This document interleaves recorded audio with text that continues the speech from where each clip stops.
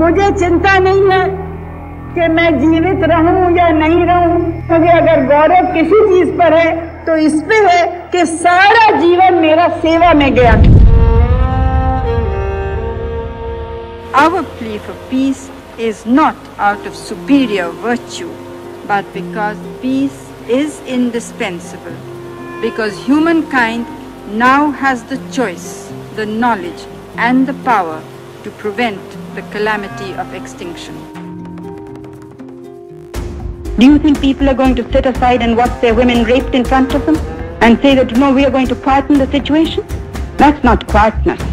That is the worst possible type of war, is the worst possible type of violence. स्वतंत्रता की क्या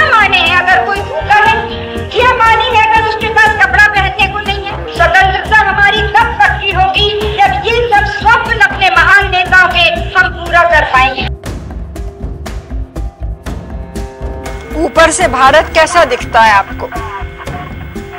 आ, जी मैं बगैर किसी झिझक के कह सकता हूँ कि सारे जहाँ से अच्छा।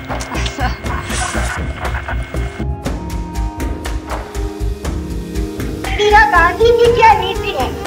इंदिरा गांधी का क्या ध्येय है? वो ये नहीं है कि इंदिरा गांधी के हाथ मज़बूत हो। वो ये है कि भारत के रहने वाले करोड़ों